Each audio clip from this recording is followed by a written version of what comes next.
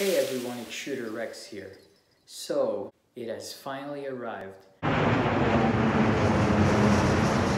This is my third steel target from Cabela's uh, that I mentioned um, on my last video, which will be an upcoming new target to shoot for me outdoors. Uh, this is the one with the 10 inch metal plate and it has a metal hanger with chains with it. Um, so I'm gonna show you the box. This is actually just an unboxing video. I bought this at Cabela's for about a hundred bucks um, with shipping of $12. I'm really pleased that it got here and I'm on spring break right now. So hopefully in the next uh, couple days I'll be able to take it out to my friend's range area so I can try it out. Alright, so here it is, the package that came today.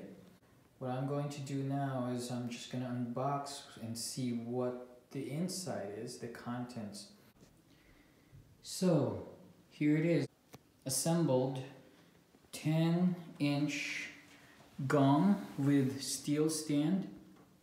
It was pretty easy to assemble, especially with this manual anyway.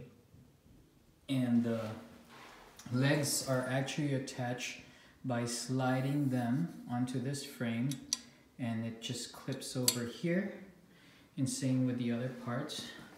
Now the top bar is locked using this clip right here and then the chains are actually attached by using this J hook. And then you simply lock this wing and you put this rubber top just for protection so that uh, you won't get hurt with grabbing the frame. And like I said the chains are thick and you could also just simply replace it if in case it gets broken. But I really like this gong right here. It's a 10 inch gong. It's painted in white. And of course you can just put like a spray uh, paint of the same color if you want or just flip it over and use the other side. I am really pleased with this and I can't wait to shoot it outdoors.